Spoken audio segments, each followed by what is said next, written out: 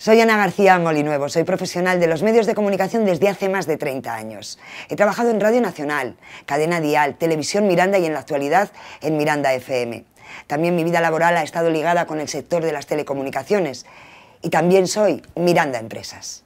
El momento es ahora, el lugar es Miranda. Miranda Empresas, ahora.